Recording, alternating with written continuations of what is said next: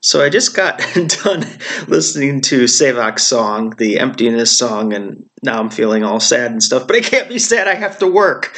So I'm going to take the time and listen to something. I, I, I listen to these songs and it takes so much out of me. Uh, I completely, when I heard Kobi Marimi's song Home, I couldn't work for hours after hearing that. I just sat there and I felt like incapacitated and able to work because I uh, just felt so much and so many emotions came over me and Sevak's song really touched me as well.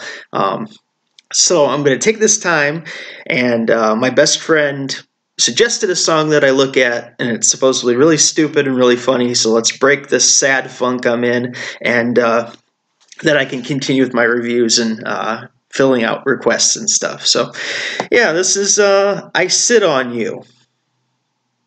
Adult Swim apparently this is really interesting. So we're going to watch this.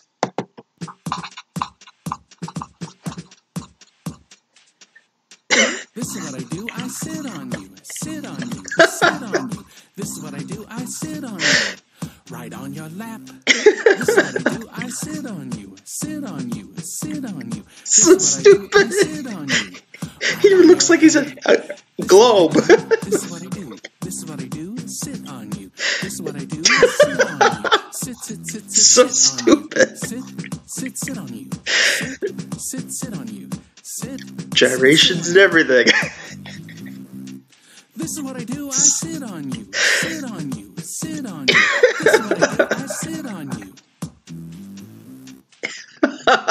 Gotta love that look at the very end when he's just like, "Yeah, I'm a gangsta."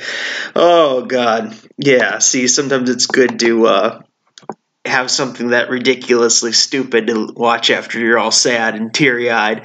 And uh, now I'm crying because of laughter because it's so stupid.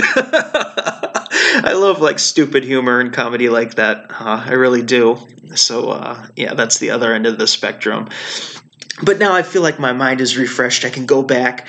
I have. Uh, there's a Chingiz song from Azerbaijan I've been suggested to watch. Also some more Srbuk, uh, the Mama song, and then I want to look continue to look for some of the other artists because I don't want to seem like I'm focusing on just a certain group of the singers. I want to see like all of them. But uh, if you have suggestions you want me to look at for Eurovision, I will do that. I promise.